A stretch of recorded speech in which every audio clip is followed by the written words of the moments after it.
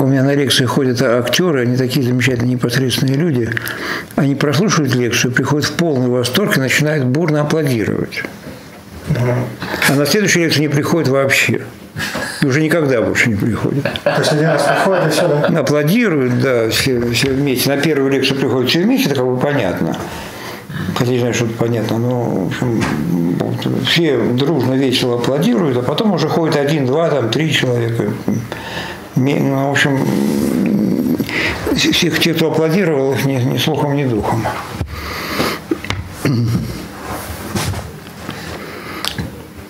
И все искренне. Да, да, да. Ну, это совершенно в духе этих актерских анекдотов о том, что старик, ты гений. Я видел тебя на сцене. Это было потрясающе. Ну и дальше что-нибудь. Там есть разные варианты.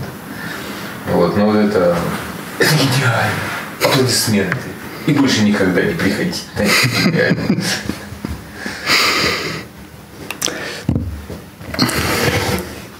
Ну хорошо, значит, мы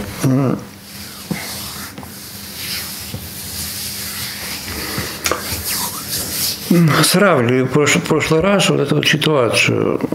При актуальной форме предмет становится либо как определенный предмет, то есть в актуальной форме медь делается медью у Аристотеля. Либо предмет становится как предмет – как это мы пытаемся э, формулировать.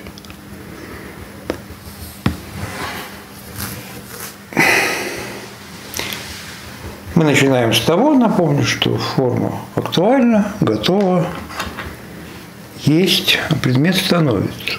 Но мы говорим, что предмет становится как предмет, содержание становится как содержание.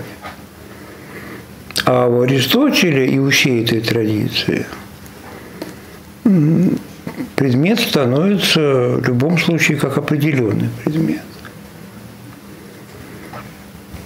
А в прошлый раз э, Игорь сделал замечание, что на самом деле это не очень вразумительно, когда предмет становится как определенный предмет. А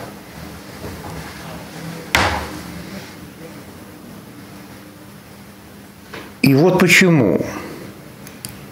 Дело в том, что здесь круг. Когда предмет становится как определенный предмет, когда формулируется так, то мы оказываемся в круге. Потому что, чтобы медь стала медью, она должна уже быть в этом смешении, в этой потенции, должна быть медью. Но с другой стороны, мы узнаем, что она э, была медью только тогда, когда она медью стала. Мы узнаем, что становящаяся медь только по мере его становления объясняется, это то, конечное обстоятельство, то есть ставшая медь объясняется медью, которую медь в потенции, но потенциальная медь объясняется уже после факта и как бы фактом актуальной меди. Вот актуальная, вот медь стала, вот она, мы узнали, что это медь, вот она медь, и теперь мы знаем, какой она была в потенции. Но не раньше. А с другой стороны, повторяю, медь сначала существует в потенции, как потенциальная медь, которая как бы еще да, и не когда, медь. Чем тогда эта картинка отличается от физической картинки? Вот есть э, у физиков такое понятие черного э, света. Свет, который не виден. Есть яркий-яркий фонарик, он светит, а мы его не видим. Это он находится в ультрафиолете, чуть-чуть за область нашего зрения смещенный. Ты ходишь с ним, взял и посветил его, скажем, сюда. Он отражается, меняет немного частоту, частоту и становится видимым, становится и, и, и интенсивно фиолетовым или интенсивно синим. То есть близко эта штука.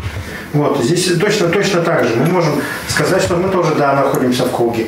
Никакого у нас света не было, э, по большому счету. Не было. Хоть фонарик вот этот черным цветом светил активно. А, Но с другой, это с одной стороны. С другой стороны, получается, что все-таки говорить о, о цвете как таковом до оформления его формы, то есть до того, как он посветил на стол, на что-то еще, на стул, от него отразился, мы можем. Давайте еще раз, мне, всегда нужно, нужно время и усилия, чтобы Просто ведь подобного рода. Что, что такое черный цвет? В круге он у нас начинает, начинает вести разговор о том, что медь может быть медной сама по себе. Ведь правда же? И для того, чтобы ну, любой фактор нашего восприятия устроен таким образом, что мы нечто обнаружим уже оформленным. Красное, например, фихтанское, мы распространяем по некой поверхности или что-либо что еще. Но именно так и говорят о том, что находится до пределов нашего восприятия. Медь таким образом, получается, что он существует как медь уже до нашего восприятия. Мы его таким образом конституируем. То есть до оформления. То есть получается, что миг, миг как таковая, таковая бывает. Из того, что она стала, приняла форму шара, она от этого не, э, не добавила свое качество. Она не стала снова какой-то медностью особой. Она была той самой медью, которая была в, в, в, изначально нам дана.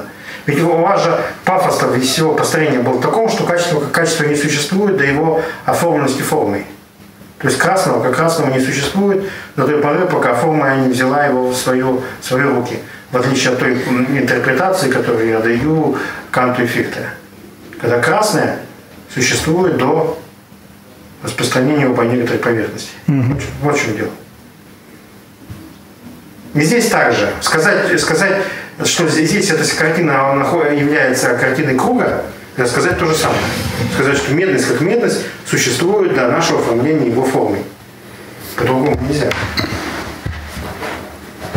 А со светом этим черным? А со светом там такая, такая, это просто пример такой красивый, как нравится мне. Просто есть же э, вот свет до нашего восприятия, как бы получается, не существует понятие черного света, но мы его видеть не можем. И специальные фонарики ярко-ярко светят, а видеть мы его не можем. Почему? Потому что он находится в ультрафиолете за пределами восприятия нашего глаза. Но картинка, по примеру, состоит таким. Когда я свечу на стол, например, на стол посветил, он когда отражается, он меняет свою частоту и становится видимым. И стол у меня становится в темноте, светится ярким э, фиолетовым цветом или ярким синим. Вот в чем дело. Видите варварские примеры, да, философские. То есть уже есть фонарик какой-то, все, уже есть. Зачем нет, это, нет, нет, нет, это речь, речь И потом форма, это, это что значит? Получается, что как бы это... Что фо фо форма из света делает цвет. Нет, дело не в этом. Дело в том, что форма как-то полностью в человеке заключена. Просто это как бы мы понимаем, что как бы не человек есть весь остальной мир, а форма этого человека. Что-то там человек не видит, значит и форма нет. Но это же глупости.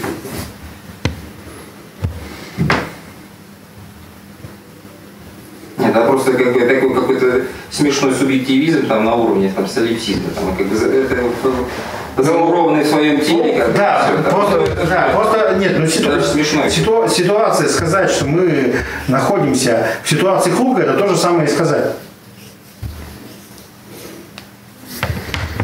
По-другому-то никак. Им, им, им, им, им именно получается, да, был какой-то там, была какая-то медь, но мы узнали о том, что она медь, когда она явилась нам в форме шара. Да, был, был какой-то цвет, но мы узнали, что он цвет только тогда, когда он отражился от стола и стал синеньким. Ну, вот такая эта штука. Ну, Игорь, вы уравниваете ситуацию, когда явление перешагивает границу восприимчивости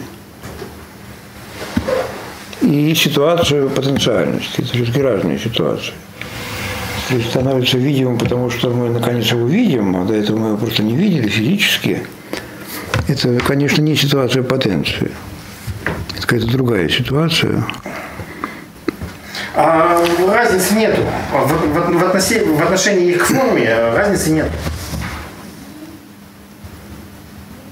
Но здесь, по крайней мере, и круга нету. Потому что если мы чего-то физически не видим, то где же здесь круг? Мы просто для нас того нет и нет.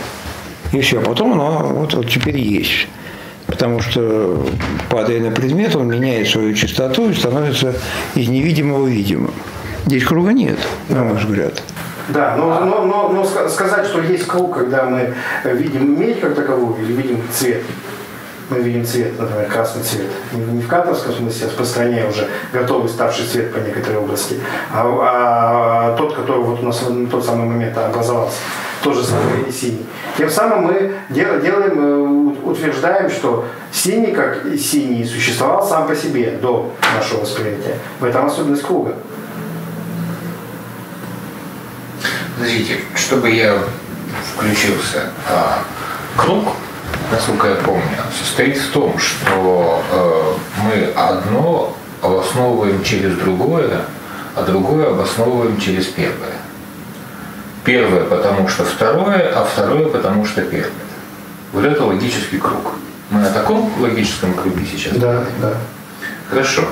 И э, где у Аристотеля с его пониманием э, потенциальности меди э, круг?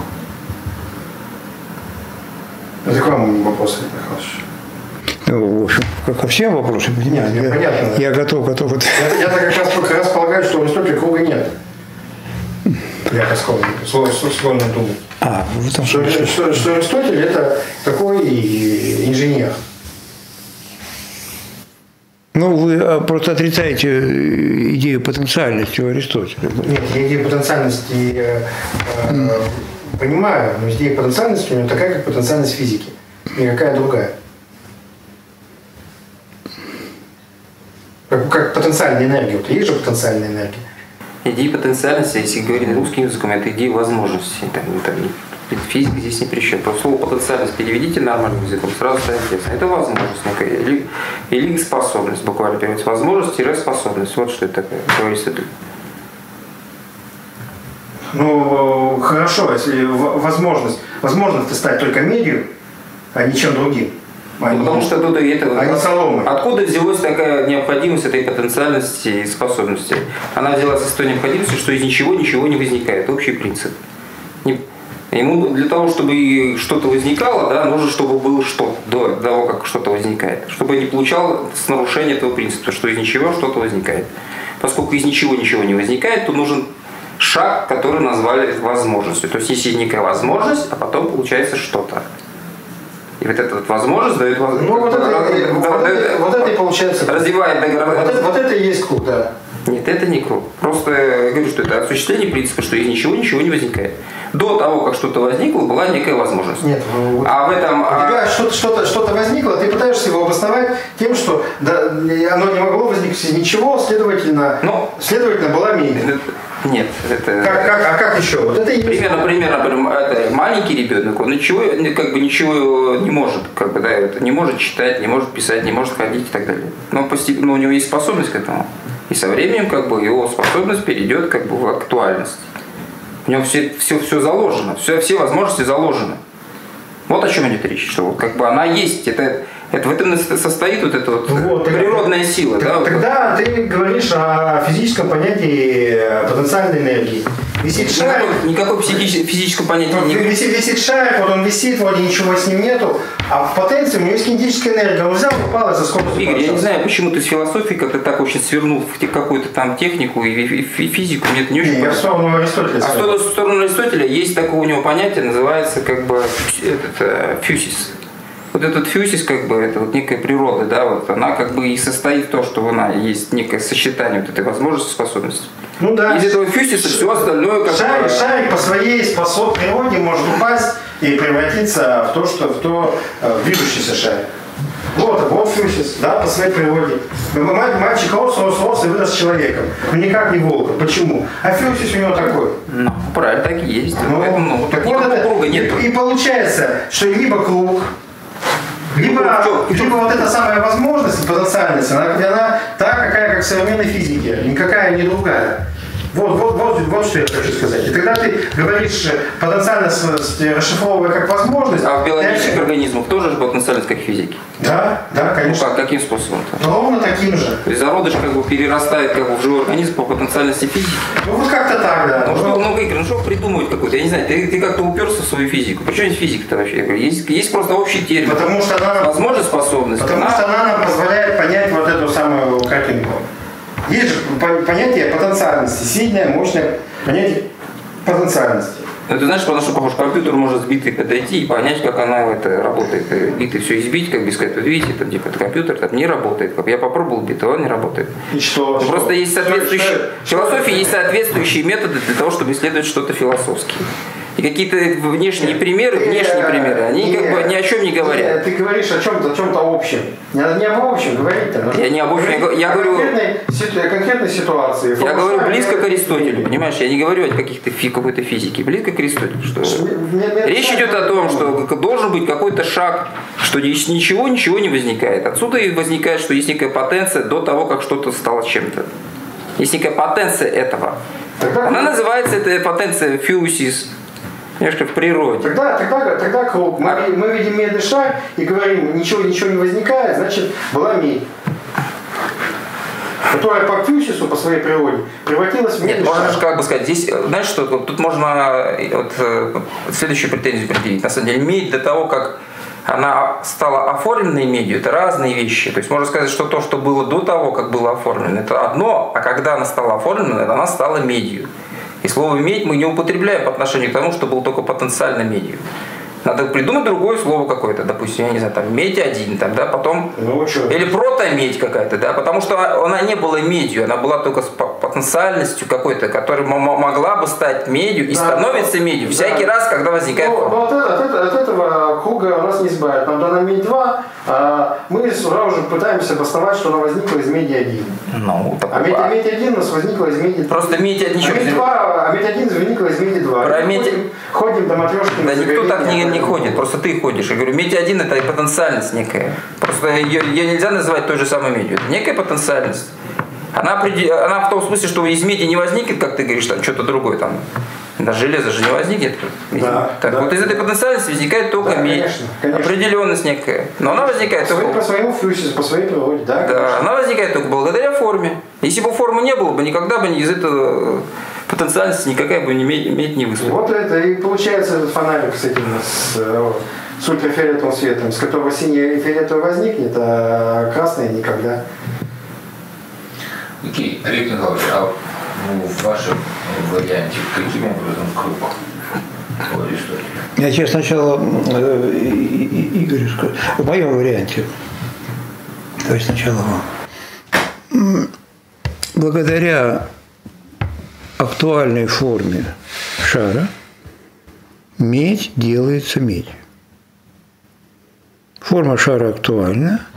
Медь делается медью в том смысле, что она из возможности переходит в действительность.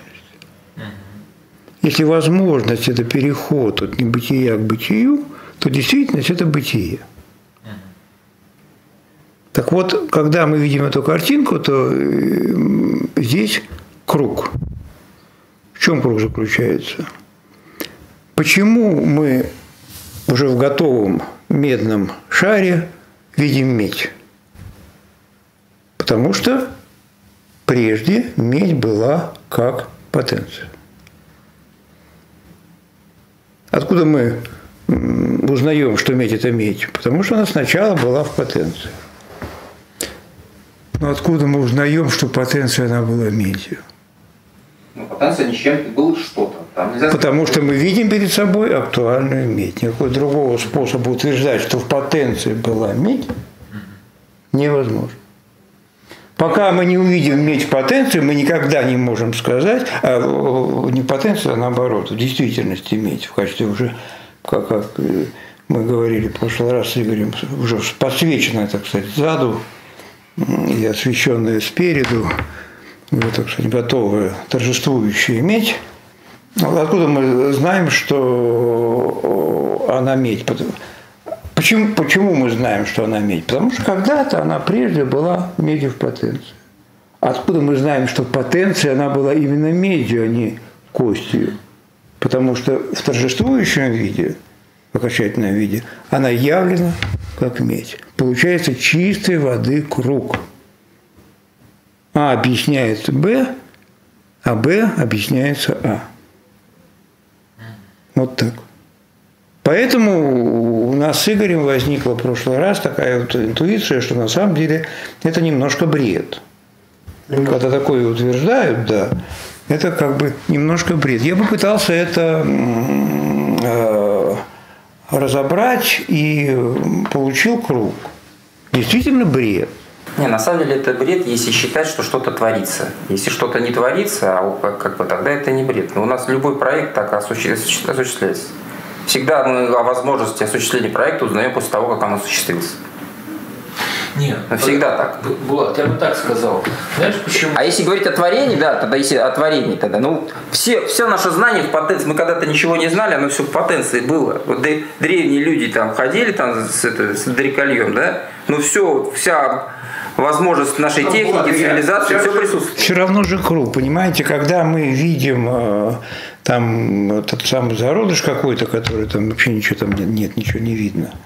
Вот. Э, мы знаем же, откуда мы... А потом вырастает мальчик, а не волк. То почему вырастает мальчик? Потому что в этом, в этом ничто, в этой чистой потенции был мальчик, а не волк. Откуда мы знаем, что чистой потенцией был мальчик? Только по мере того, как он актуализируется по смыслу слова потенция. Пока мальчик не явился, мы не имеем никаких возможностей утверждать, что он был потенциален. Так это и есть факт того, что мы не творим мир, а мы только его воспринимаем. Вот для Бога было бы иначе. Для Бога, было бы, для Бога был бы круг. Потому что Бог мог бы сотворить все, что угодно. Для Бога не было бы круга. Разомкнул бы этот круг, он бы из ничего сотворил. Почему появился мальчик? Так это а, сказать, что из ничего сотворил, так это и есть кульминация круга, что из ничего что-то творится. Я говорю, из ничего ничего не может выйти. А тут, получается, из ничего что-то творится. Ну, Игорь же нам напомнил эту э, формулировку круга. А из Б, а Б из А. Ну, смотрите, как обосновать, не может быть А. что Бог творит, может... Бог что-то творит. Ему надо какое-то ничто, которое даже немыслимо, да? как бы, которого и не существует как предпосылка, и вообще о нем говорить невозможно, чтобы что-то сотворить. То есть ему нужен предыдущий шаг, которого не существует, чтобы стал как бы следующий шаг, то есть это нечто оформленное. Я говорю, для нас, твари, да, как бы нет такого шага, это, не, это ничто. Для нас всегда есть уже в потенции что-то, уже заранее вложено, есть. И мы, на самом деле, в ограниченных условиях существуем. И наша форма может только то, что позволяет как бы материя. Ну так, Булат, э, а, что, а, а, а что мы утверждаем? Мы утверждаем, конечно, мы люди. Конечно, наш единственный путь – это действительно из потенции в актуальность. Но только не надо это понимать по-аристотелевски иначе будет круг. У Аристотеля э, и у всей этой традиции э, потенциально существует нечто определенное, а именно медь. А именно мальчик, а не волк. Медь, а не уже потенциально есть это. А мы пытаемся строить иначе. У нас есть определенная форма, актуальная форма, которая пока еще не круг, в отличие от Аристотеля. Да, вот мы последние два занятия, то есть первые два занятия, а, этим, э, этим как раз и занимались заново в который раз. Вот. У нас э, о форме мы не говорим, что это круг или куб, а говорим, что это просто некая актуальность. Некая актуальность, и все, больше мы ничего не говорим для начала. А если сразу говорит, что это, да, это круг или куб. А там э, трансцендентно, там медь или волос. Как у Анаксагора, так же и у Аристотеля. Проблема. Зачем тогда вообще предмет нужен? Вот предмет как раз и есть то ограничение, что форма не может все. Как бы она вот может только в этом предмете в это, явить свою актуальность. То есть это на самом деле ограничение формы в каком-то смысле. А, а если как бы получается, что там как бы нет никакой определенности этой формы, так тогда и предмет не нужен. Просто эта форма должна развиваться из самой себя и все. Почему, как, почему она на предмет обязательно там опирается? Опора на предмет это и есть та, то утверждение, что предмет необходим хоть он и вторичен, там, хоть он там исследует за формой, но он без него никак. И поэтому форма не, это как бы не все из себя производит. Что-то исходит как бы... То есть внутри предмета как потенциальность присутствует в виде чего-то там, по, по возможности, способности, которую форма только актуализирует. Она только являет то, что уже как бы есть в каком-то смысле, как, как это сказать, есть в. Вот мы, в отличие от Аристотеля, говорим, что форма актуализирует предмет как предмет. Содержание как содержание. Так мы начинаем. Аристотель начинает совершенно иначе. Это мы как раз и пытаемся взвесить на весах высшей, высшей справедливости, завязав глаза. А мы общими усилиями с Игорем уточнили эту ситуацию, на мой взгляд.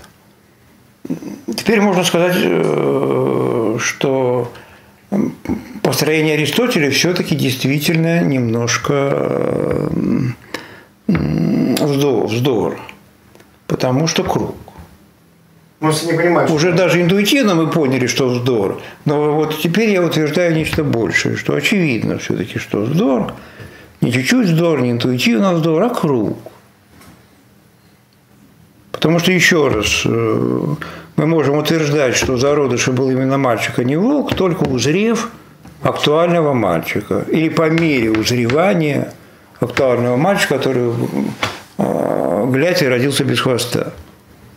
Еще ничего не ясно, уже ясно, что без хвоста. Тогда мы говорим, что потенция был не волк. Не волк. А что-то другое. В общем, мы уточняем. А с другой стороны, разумеется, почему мальчик? Да потому что он был в потенции. Потому что он был в зародыше. И это действительно круг. Этот круг у Анаксагора, этот круг у Аристотеля. Поэтому это не, не удовлетворительно. Вопрос в том, почему получается удовлетворительно у нас. Это другой вопрос. Потому что мы, мы говорим, что предмет становится как предмет. Предмет становится как предмет. Но мы сейчас это пытаемся выяснить. С кругом разобрались, да? Понятно, почему. Если мы говорим как Аристотель, если мы говорим как Анаксагор, если мы говорим как э, Кант и Фихте, вот забыв про Игоря возражения, сейчас я забываю про них, не, сейчас не обсуждаю их. Хотя можно будет вернуться и еще раз пройтись, но просто надо продолжить мысль, хотя бы одну. Вот, э, если мы рассуждаем, как все эти мыслители, как Кант и Фихте, для которых точка, без пространства точка, по мере того, как она получает форму, причем определенную форму, у этой формы есть имя. Это имя пространства, скажем, а не время. Его имя протяженность. Не круг, конечно, более отвлеченно – можно считать в этом некий, более, так сказать, изощренный способ размышления. Если у Аристотеля все-таки круг или куб в качестве актуальности изначально, то у, у Канта и Фихта это просто протянутость. Просто протянутость. Вот э, феномен перед. Априорный феномен, априорная форма, не, феномен, простите, а, априорная форма перед. Вот, э, но это все равно определенная форма, некая. А может быть, не знаю, надо подумать. Но она существует актуально, конечно она перед остается, этот перед остается перед и, и всегда. Когда в нем и красное, и зеленое возникает, он все равно остается равный себе. Пространство равно себе. Это некая познающая себя форма, которая равна себе и никуда не девается. Вот, а в ней потенциальный источник рождается всякие волки мальчики. Э, во всех этих случаях мы можем говорить, что это круг. Будь то пространство, круг, куб и что-то не было другое. Почему? Потому что содержание с самого начала задается как определенное. В точке есть красное, точка у нас красная, но красное здесь потенциально, потому что ну, полы э, по определенной логике понимания. А, точка есть красная, но пока она не пространственная, конечно, это, это краснота никакая не краснота. Опять же, а почему она краснота в протяженности? А потому что она и была краснота в точке, с одной стороны. А с другой стороны, откуда мы знаем, что точка она была краснота? Понятно, что точка не может быть красной. Понятно, что мы узнаем о том, что и можем утверждать, что точка и была красной потенциально, только тогда, когда явлена протяженность. Ну, тут же можно логически рассуждать. Либо красное возникло, сотворено формой момент этого восприятия, либо красное что-то до того, как э, стало красным, допустим, шаром, было что-то. Там назвать его красное или как-то, неважно. Других вариантов нету. Либо-либо. Либо мы сотворили красное, либо как бы, или, или красное было прям в форме, либо как бы красное было до того, как она была оформлена. Или, или, тут же как бы больше по-другому уже никак нельзя возможно мыслить. Ну, это, это просто э, как бы интерпретация круга. Понятно, что круг разваливается. Когда мы говорим из АБ, а из БА, то, конечно, естественное возражение либо-либо, господа. Что вы лепите? Либо из АБ, либо из БА. Понятно, что либо либо. Ну, форма-то ничего не творит, правильно? Поэтому до того, как форма что-то оформляет, было нечто. И как бы его назвать, уже этот разговор уже другой. Форма не творит, либо творит. Если она творит, тогда да, нам предмет не нужен, форма все из себя сотворяет. В том числе и красная. Нет, проблема э, в том, э, и как бы, как я понимаю, попытки э, отличить э, концепцию вот, актуальной формы Олега Михайловича от предшествующих близких версий, состоит в том, что э, форма, возьмем слово «творит», но форма творит либо уже э, какое-то конкретное качество и конкретную себя же форму, либо она творит себя или обнаруживает себя просто сначала как просто форму, еще никакую неопределенную. И содержание еще никакое неопределенное, а просто содержание. Как бы две большие разницы – Потому что то, что мы говорили об Аристотеле, который берет э, ситуацию в некотором единстве, когда есть и форма, и содержание, и то, и другое уже определенное, там Кант, Кант Фихте делают другой акцент, они сосредоточены на форме, на определенной форме. А определенность предмета, который этой форме противостоит, он как бы э, не, не, не так существенна, и о ней говорится вскользь, поэтому здесь можно дискутировать до потери пульса. У этой точки есть краснота или нет красноты. Но они точно совершенно начинают с, с формы актуальной и определенной формы именно с пространства, именно со времени. Тогда как можно начать с формы актуальной как таковой, про которую нет никакого определения, кроме того, что она есть. Просто вопрос же не идет как бы о каком-то богословии, правильно? Это же не этапы, это на самом деле скорее вопрос как бы конкретизации одного и той же, одной и той же ситуации, оформления. Можно сначала ситуацию в самом общем виде рассмотреть, когда форма только актуальность, потом уже уточнять ее, что это форма одной и так далее. Это как кожура в луковице. На самом деле это все одновременно все присутствует. Просто Нет, а мы смотри, как бы если, если... конкретизируем форму просто постепенно, но на самом деле нет никакой последовательности, нет никакой формы, которая только актуальна. Она, она просто это как бы некий аспект, так самый, как самый простой, самый первый аспект, который ты это потом конкретизируется в то, что какая форма вот наша конкретная, как мы сейчас смотрим, форма, она максимально как бы вот конкретизирована. То есть фактически речь идет не о каком-то последовательном ходе, а просто о, о, о постоянной конкретизации, постоянном уточнении того, что такое форма. Одна и та же форма. Ну да, только ну, здесь так поэтому сказал, как бы... движение идет не в сторону конкретизации, я бы взял другое слово.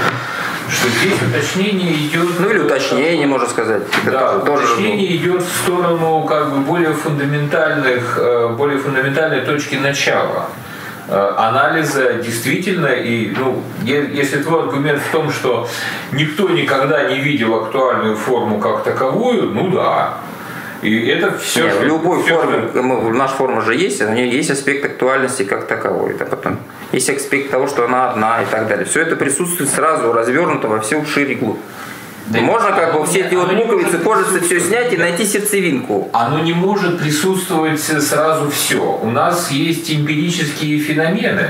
Уже отталкиваясь от, э, как бы, мы можем анализировать эти эмпирические феномены, разлагая их на форму содержания и а, как бы думать о том, как наиболее непротиворечиво мы можем э, и как глубоко мы можем непротиворечиво опуститься в этом анализе, речь об этом.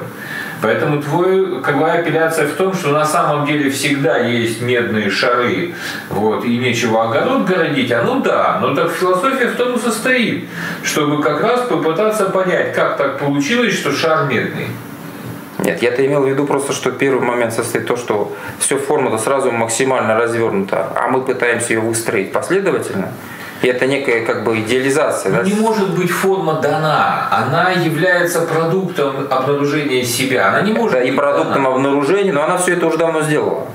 Все, как, все выстроила давно. Ну как мы же не богословием, еще раз говорю, занимаемся. Мы занимаемся некой реальной... А, реальной... А противо... Откуда это противопоставление? Не хочешь заниматься богословием, значит признавай, что все уже давно форма была... Но ну, мы-то вещаем откуда сейчас. Вот мы лично сидим здесь, откуда вещаем? Мы уже вещаем с позиции некой развернутой, во всю шире глубь формы. Ничуть не бывало. А как мы наоборот, мы опускаемся опять на самое дно. Не, ну мы сейчас, чтобы опуститься на дно, мы на самом деле сами вот лично сейчас где присутствуем? В ситуации на развернутой каждый. Дне. Нет, в ситуации а, не мы, это не в разговоре, а вот каждый из нас он видит, видит шары. Там. Назову семена. А второй вопрос на самом деле. Самое главное это. одна, да. Почему форма двигается именно таким путем, а не каким другим? Почему, если она творит нас, почему не может сотворить мир так, как ей бы, условно говоря, хотелось бы, по произволу? Почему все форма всегда уперта в некий специфический путь? Потому что предмет не дает, на самом деле, форме быть нет любой. вообще никакого произвола была. Правильно, произвола нет, и поэтому на самом деле нет никакого поэтому творения. Нет Весь мир о том, почему мы произвольно не выдумали. Весь мир в потенциальности поэтому на самом деле находится. И мы его актуализируем. Мы только можем актуализировать. Форма ничего сделать не может. Она может только выявить это, это из хаоса, как были, как сказать, из темноты, откуда угодно. Она только высветить может, выявить, оформить. Ну, а сама сделать ничего не может она. Она как бы она в каком-то смысле бессильна. Она, она как бы идет путями уже, которые ей предложены. Вот ей предложено этот путь, и деваться ей некуда. Ну и хорошо. Значит, мы, собственно, этим путем-то идем, бессильной формы. Значит, мы что говорим? Значит, Аристотелем понятно, вроде как круг. Вроде как понятно. Вроде как бред. Что ничего более бредового, чем бредовее, чем круг, придумать и сложно, на самом деле так просто. Бред выясняется только на дне. Нужно было спуститься на дно, чтобы обнаружить бред Аристотеля. Получается не только бред Аристотеля, а бред всей классической традиции, я так понимаю. Ну, по крайней мере, традиция... Везде, где присутствует некое, как бы, содержательное так, начало, да? Например, Канта такого нет. Там нет круга, но там нет и потенциальности. Да, как таковой, да, да. конечно. Да. Не, подождите, а красное, которое в точке, это что такое? Это некое содержание до всякой оформленности. Да. Но это и есть ваш круг-то что? Нет. Который потом станет красным, когда станет оформлен. Не, не до всякой оформленности, а красное как таковое качество. Я только что объяснял, что такое круг, как ваш, ваша интерпретация. Это, это то, что как бы мы понимаем, что есть некое красное, это до того, только после того, как она стала красным этим шаром там. Но точно так же у Фихта, Фихта в точке ничего не видно. Ну, вот как бы вот, вот когда... Как, как фонарик. Как мой фонарик, но же нельзя... Ну, поэтому я говорю, что у Аристотеля все то же самое, как бы. Нет никак... В том же самом смысле, как у Фихта, у Аристотеля тоже нет круга. Чего. Точно так же, как было, только он называет это потенциальностью. Если можно назвать это точкой, как бы, а можно назвать это потенциалом. Нет, мне кажется, что Игорь э, обратил внимание на интересное обстоятельство, что в физике и в самом деле все эти величины, масса, там, энергия, что там еще есть? Температура. Ну, Темпер-. Да, Что температура. скай. Что они все действительно применимы к точке э, и существуют в этом неизменном абсолютном пространстве и времени. И смысл этой неизменности абсолютности как раз в том, что все эти температуры как бы не нуждаются для своего проявления э, в, круге или шаре, или там в таком пространстве, или в То таком как бы, если пространстве. человека не будет, все это будет существовать. Да, да, Да, да, да. Ну, То есть мы по- по- попадаем просто в суперфилософскую ситуацию. какую-то другую, не менее Это уже интересную ситуацию, вообще, да. Это уже не философским путем мы его обсуждаем сейчас. Ну, Ты сегодня занимаешься, то ты э, запрещаешь богословие, то ты запрещаешь Да ничего я не запрещаю. Это много, много ограничений. Просто как бы... Ум на самого себя, по-моему, нет? И это, конечно, ну, сама по себе интересная ситуация, и нужно об- обдумать э, как, э, ситуацию физики, когда действительно само, но, но в ней действительно нет этого противопоставления формы и материи. Ее нет. Действительно, мы, находясь в точке, то есть вне какой бы то ни было формы, не только пространства, но как бы вообще никакой формы нет, естественно, у точки.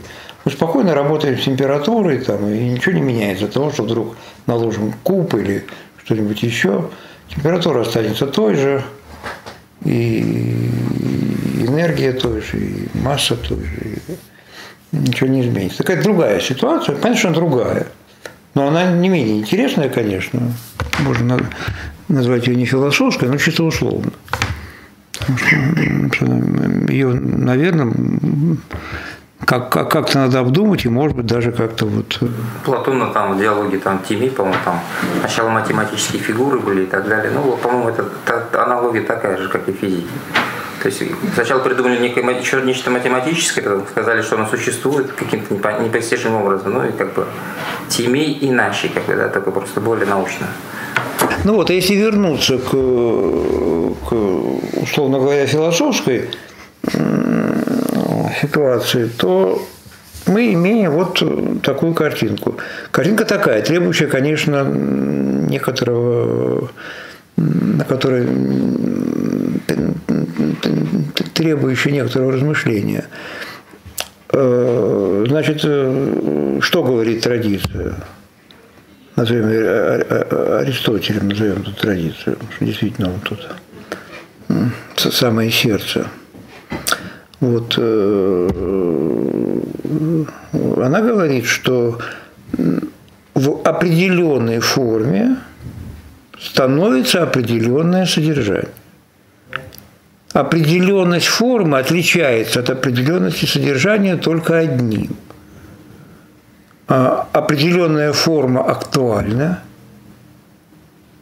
есть, готова, не, не возникла и не исчезла. А содержание тоже определенное становится. И как бы всегда становится некоторым образом. Или не всегда, это, кстати, еще вопрос, когда шар стал медным, мы имеем уже составное третье, то, что Аристотель называет, то есть предмет, то уже непонятно, что он, собственно, становится, он уже стал. Да. Да. И это, кстати говоря, может быть проявление круга, потому что мы, если мы имеем уже вот эта потенция, это, сказать, э, го- готовая, я про содержание уже о предмете говорю, это потенция, ну понятно, что предмете, раз потенция, эта потенция, это готовая нечто, это медь в медь круглая, уже вот, э, э, то если на одной стороне этого, на одном полюсе этой нечто абсолютно готовое уже, которое не становится, то это уже немножко подозрительно, это уже немножко царапает да, наше сознание. И это, и это, да, да, да, это э, как бы снова возвращает нас к кругу, потому что, еще раз, почему мы знаем, что в потенции медь, потому что в готовом виде она таки медь. И она таки уже готовая, она уже не становится как медь, она уже есть медь. И по мере того, как она есть медь, мы можем мы вначале послали сюда из потенции, естественно, понятно, что сюда, но мы тут же сделали э, круг назад. А что, откуда мы знаем, что-то в потенции, да потому что вот она уже готова. И как готовая, торжествующая, она именно медь и ничто, и ничто совершенно другое. Все, состоялось. Тогда же ситуация феноменологии всегда так. В феноменологии всегда так что-то является, а потом мы разбираем, чем она является. Феноменология как раз так. Есть феномен ставший, да, как мы его разбираем на составляющие. В этом суть, в принципе, любой феноменологии. Не, не додумать того, что как это могло бы быть, а исходить из того, что есть, и разбирать его, как оно было до того, как стало чем-то. Ну хорошо. Так вот, э, э, значит, это вот Аристотель, как сердце, середина смысловая классической традиции. И здесь, на мой взгляд, достаточно ясно показывает себя круг – вот. Э, и наше построение. Мы говорим, что начинать надо со следующей интуиции. Да, форма актуальна, но больше ничего о форме актуальной мы сказать не можем.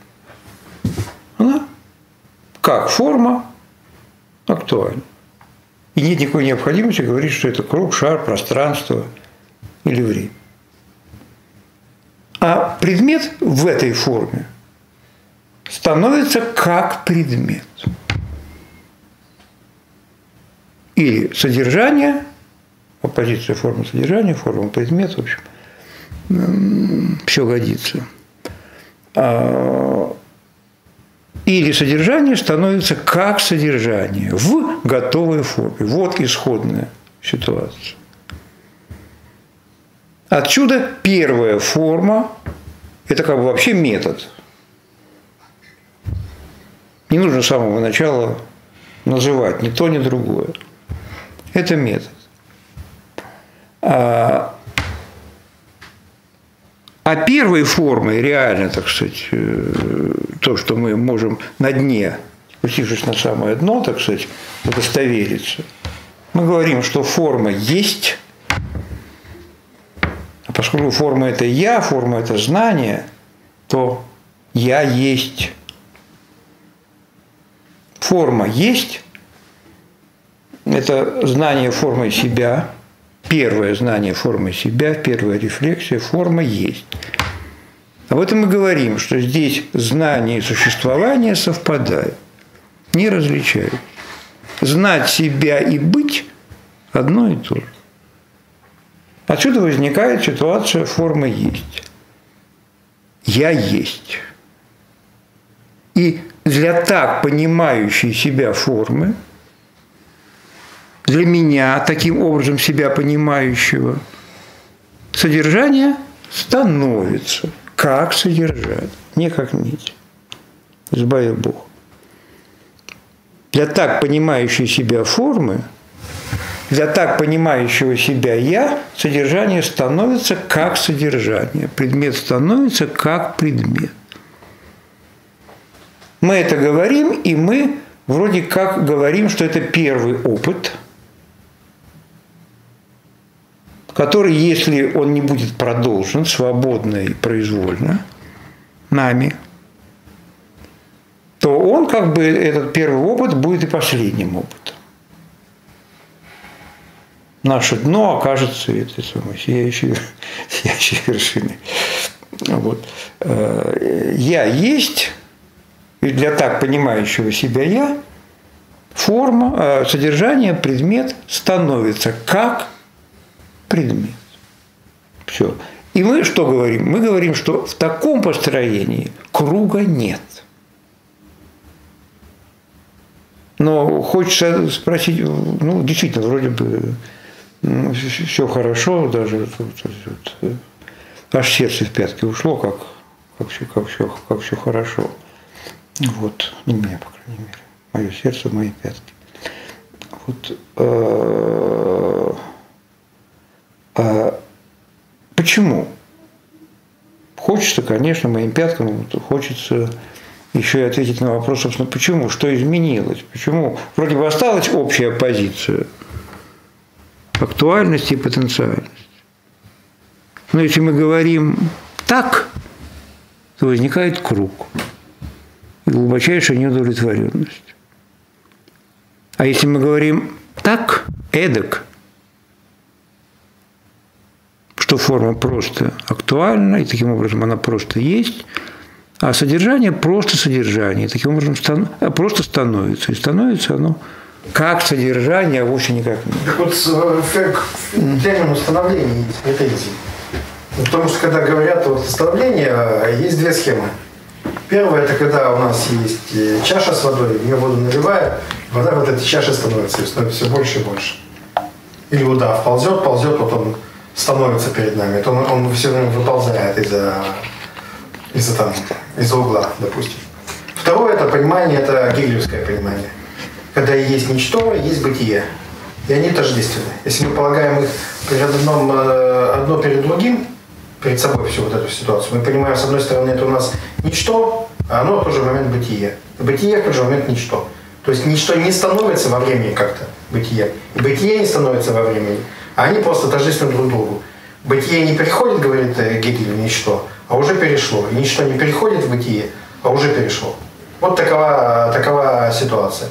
То есть он, по большому счету, образует новое понятие. Понятие становления, которое не имеет отношения к выползающему удару или наполняющейся чаше. Такое собственное гегельское понимание становления. Здесь же становление какое? Удав и с чашкой. Как здесь можно сказать, что есть становление? Ведь из того, что вы сказали актуальность и сказали становление, это не означает, что вы э, избежали ситуации круга, быть может. Быть может, вы просто придумали для этого новые, новые слова. Ну смотри, если здесь становление понимать как э, содержательный процесс, то есть материя становится какой-то определенной материей, то тогда да, тогда ты прав. Угу. Это выползание удава, и Да. тогда нет никакой разницы с Аристотелем. Да. А, только в нек- может быть, в нюансах слова употребления. Но, насколько я понимаю, здесь становление понимается в третьем смысле. Да, не имеющие отношения. Не имеющим отношения, отношение. Вот я говорю, да. есть удав и есть э, Гегель с его наукой и логикой. Да, ну что делать, понимаешь, когда ну, новая философская система это Вот всегда, есть, есть это больш- всегда большое подозрение, что никакого третьего смысла нету после становления. Но здесь а, э, еще раз, ничто становится содержанием, даже не чем-то, не нечто, а становится лишь содержанием. То есть то, что может быть оформлено материей. Еще раз, это даже не бытие в возможности.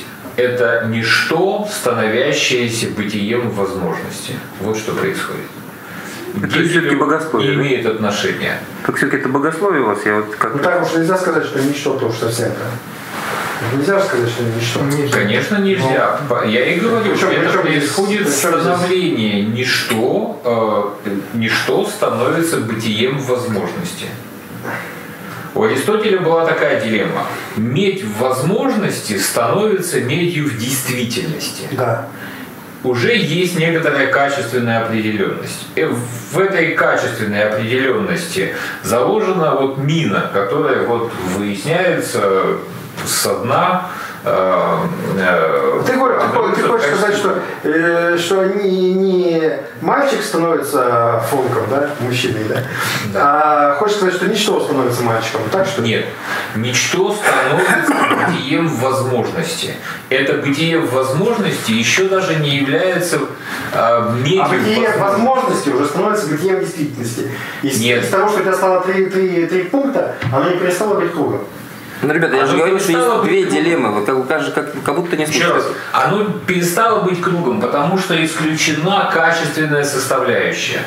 Если бы становился волк возможности, ничто становилось волком возможности, а потом волк возможности становился волком в действительности, тогда да. Но становится не качественное определение, становится лишь определение. Ничто Да про возможность нельзя сказать, качественно оно или нет. возможности без качества, просто как таковым, как бытием возможности. Э, э, Игорь, ответь вот мне, ну, вот есть дилемма. Либо качество творится, либо качество есть до того, как форма его оформляет.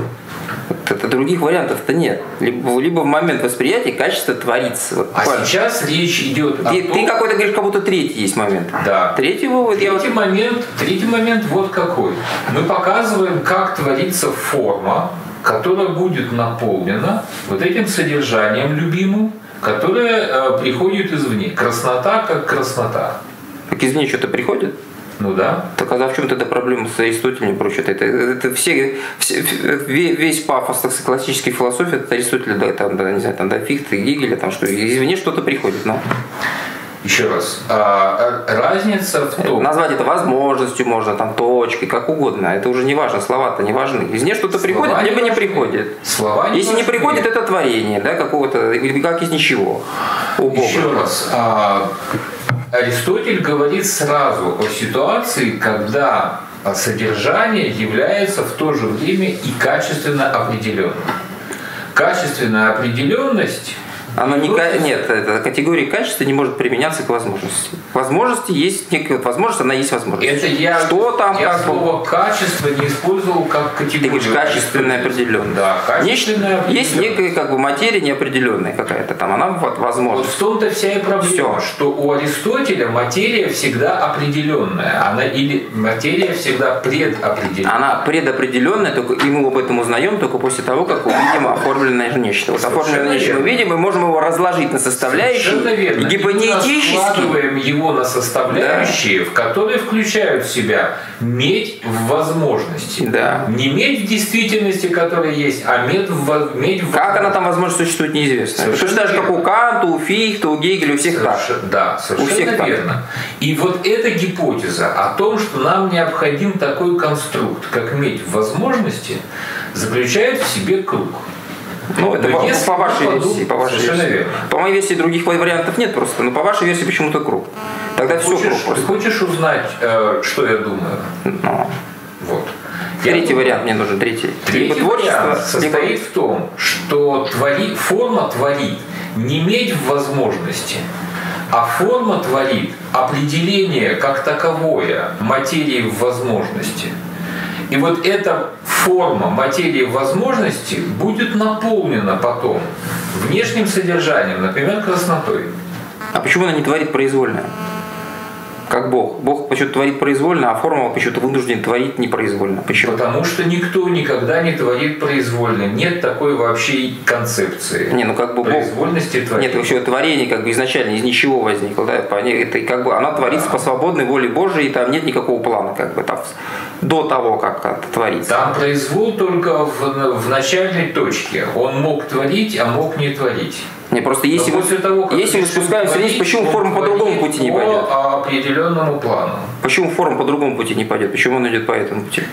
Еще раз, потому что нет такого, така- такой концепции произвола, в смысле нарисовать вместо красного синее. Такой концепции Значит- произвола значит, нет красное приходит извне? Конечно. Ну так получается ничем не отличается эта концепция от аристотельской и всех, так всей классической философии.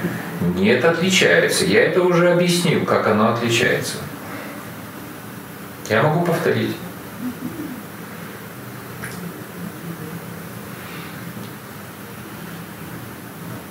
Но мы могли бы двинуться к какой-нибудь следующей мысли, потому что зависать уж совсем на одной э, скучновато. Ну хорошо. Значит, все равно э, вот э, есть такой оставшийся вопрос, э, когда э, содержание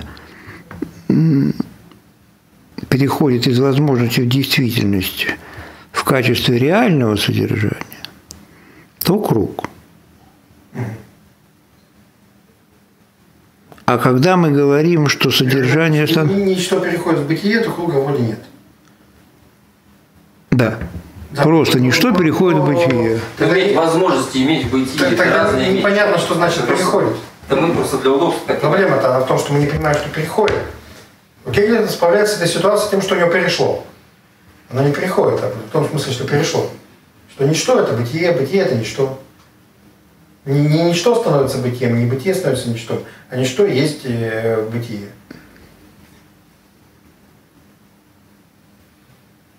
Чтобы избежать вот этого самого удава, Хоть это удав из, из небытия ползет, быть может. Представляете, этого удава, который вот на одну треть уже появился из-за шкафа, да?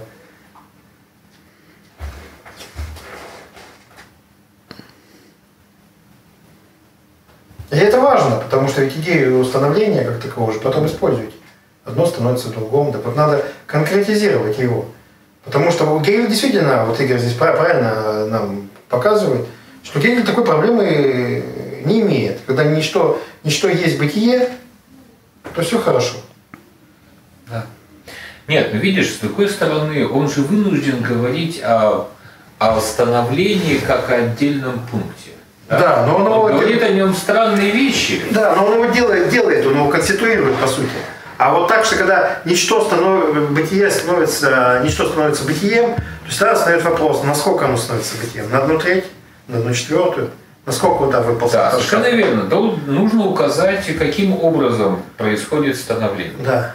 Вот я полагаю, что выход состоит в том, что ничто становится бытием в возможности. А у Гегеля как бы более простая картина. Либо ничто, либо бытие, уже актуальное бытие. Поэтому у него скачет туда-сюда. Но в качестве промежуточного бытие в возможности. Да, но, но тогда возникает дилемма между бытием действительности и бытием возможности. На самом деле, это, если Гегель внимательно читать, Какая там дилемма? слово «ничто» — это слово... Ровно, ровно такая же, как между чтойностью. Слово «ничто» — это слово, это не равно бытию. Слово «ничто» у него не равно Потенциальной чтойностью и актуальностью. Товарищ. Такая же. А. Слово «ничто» у Гегеля не равно слову «небытию».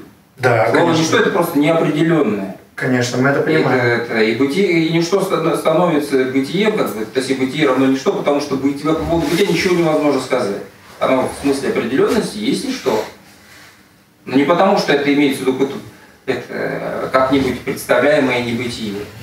Здесь вполне кон- конкретная вещь, как феноменологи это, духа, пе- первая глава, что, что, что можно сказать о, о предмете? Можно сказать только, что он есть, и больше сказать о нем ничего нельзя. Хотя нам кажется, что там есть многообразие там, содержания, но на самом деле все, что можно сказать здесь, что оно есть, все. Или просто есть, и все. И вот это вот есть, как бы обыгрывается в логике в том смысле, что как бы там есть бытие и есть ничто. Ничто в смысле неопределенности. То есть неопределенность равна бытие есть нечто неопределенное. Все. Вот все, что здесь говорится. Не имеет никакого иного содержания, кроме того, что оно бытие.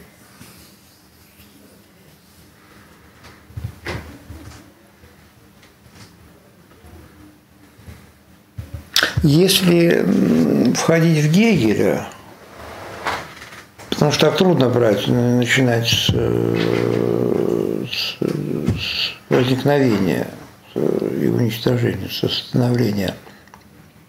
М, Если мы не договоримся, что у Гегеля бытие, а что у Гегеля ничто.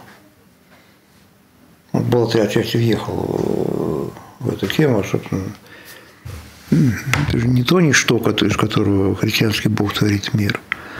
Гегель другое ничто. Вот, э, если входить в Гегеля, то,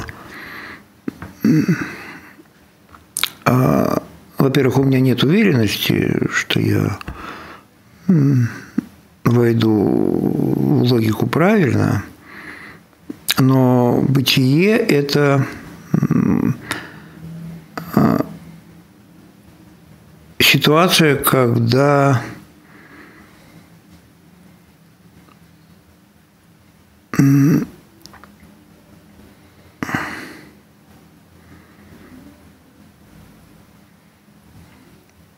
форма, сознание все равно является формой, но сознание соотносится с собой как формой предмета. И при этом не указывается, какая именно эта форма, круг или куб. А указывается лишь то обстоятельство, что м, сознание знает себя как форму предмета. Когда сознание знает себя как форму предмета, или форма знает себя как форму предмета, то предмет для сознания предстает как бытие. Простое, без дальнейших определений, бытие. Когда форма знает себя как форма предмета, то тем самым э, сознание полагает свой предмет. Сознание полагает свой предмет. Но еще раз, какой формы, Гегель не говорит. Я бы не стал отрицать того обстоятельства, что сознание все равно является формой Гегеля. Чем оно вообще еще может быть, это самое сознание. Вот. Но вот интересно, что Гегель о форме говорит как о форме вообще. Имеем просто полагание себя формой предмета и тем самым полагание предмета самому себе или просто полагание предмета. Казалось бы, бытие в Гегеле это просто простое непосредственно. Вот есть простое непосредственно, оно бытие, а с другой стороны оно ничто, потому что не имеет определенности. И все. Да, Ну, без каких-либо там рассуждений о форме, предмете, чему-либо еще другому. Ну да. Ну, Вот он Ну, это в логике. И логика. мы про логику, да. А феноменология уже не так. Феноменология есть форма.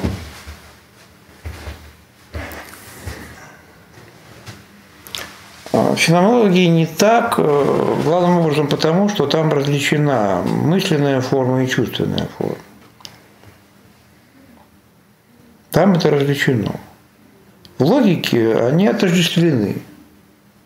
Никуда не делось это различие, разумеется, мысли и чувства. Куда бы ему деться. Но мысль поглотила собой чувство, и теперь это уже просто форма познания не форма познания чувственного познания, не форма познания чувства, а, форма, а просто форма познания. Отка- Когда я, ну, я говорю, что я не уверен в трактовке логики Гегеля, но когда я отказываюсь, вот лично я отказываюсь от э, сознания как формы, то гегельский текст для меня теряет вообще всякий смысл. Что значит, что непосредственное бытие? Это что? Это вода или что это? Просто, А, апиро. просто непосредственно как таковое. Не Ну, вода, вот- не вот. Просто непосредственно. Вот, э, Она же лог- логика понятия. Вот понятие непосредственно.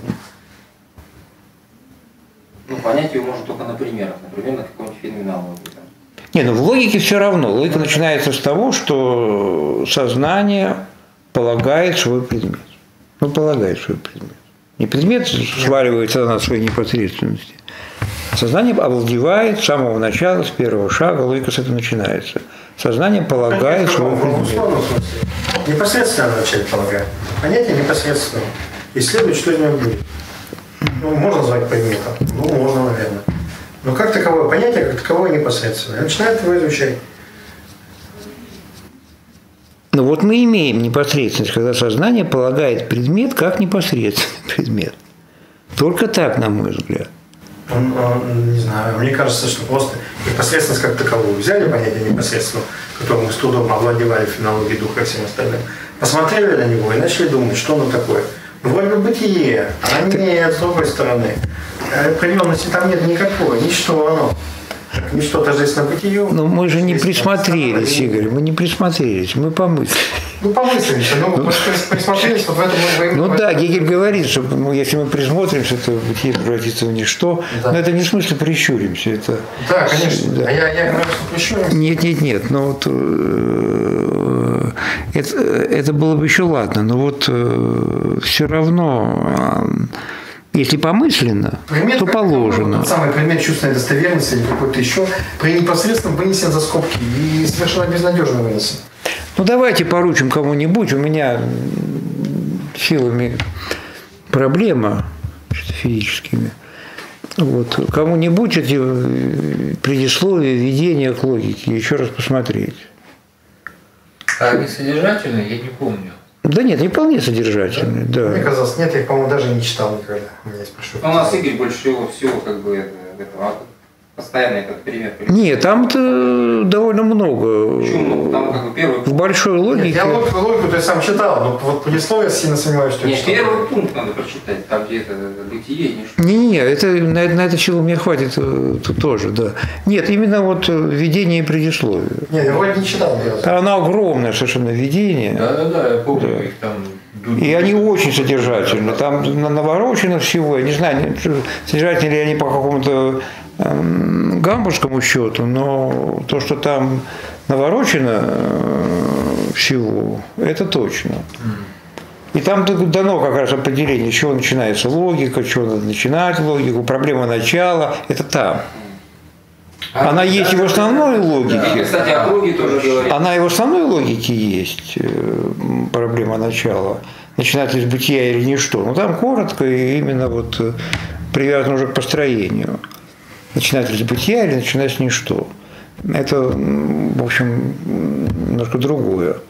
А вот в предисловии введении там много наворочено, э, именно, в частности, по поводу начала логики. У меня осталось в голове, как бы вот, ну это надо очень давненько все. Да, слушай, нет, это страшно давно было, надо перечитать. Я перечитаю. Да, вот э, у меня осталось в голове, что логика начинается с того, что сознание полагает предмет. И я пытаюсь объяснить, что значит полагает самому себе, и получаю от самого себя ответ, что полагание предмета – это полагание сознания себя формой предмета, и все. Это одно и то же. Сознание себя формой предмета, и чего нет в феноменологии. Потому что там есть сознание себя формой предмета, но предмет... Если она предмет полагает, то она полагает вот такой, как математическая логика полагается. Математическая логика же тоже работает с множествами, допустим. Но можно сказать, что она полагает в том в смысле, в каком чу- э, фенологии русска нет. Хотя ясно, что, это, э, что где-то там есть крокодилы, э, овощи и что-либо еще. Люди, это имеется в виду загорелый Сократ, и кто-либо, кто-то там, кто, кто-то там другой. Можно сказать, что математическая логика, обычная логика аристотельская, полагает э, загорелого Сократа. Нет, не- не- ну, в каком смысле можно сказать. Но имеет заг- загорелость и сократовость хоть какое-то отношение к аристотельной логике? Никакого. Ну, так кажется. Я не читал ни видения, ни предисловия, честно. Нет, так вот э, как бы с, э, чисто предварительно понятно как бы затруднение, поэтому надо перечитать. Поэтому говорить там, что форма, то есть предмет чувственный, достоверный, казалось бы, не имеет никакого отношения к логике. Непосредственно дается как понятие, оно разворачивается как понятие. Но все равно э, комментируется природа этой непосредственности, комментируется начало. И в этом все дело. Да Это ж не, не, не Ну, ясно, что его не просто так получить, но и категория Аристотеля тоже не просто так Ну получить. да, да, именно поэтому. И, и Только- им только где-то там прилагается загорелый сахар, где-то категория, ну, Да, где-то прилагается. Но очень далеко и совершенно случайным образом. Так же можно было бы и красно-бурый овощ какой-нибудь взять и вместе с Сократа с ним работать. Ну, конечно. Были бы помидоры, давно бы с помидорами. Не было. Не было помидоров, да, приходилось с Сократом. Ну хорошо, давайте на этой мысли серьезно.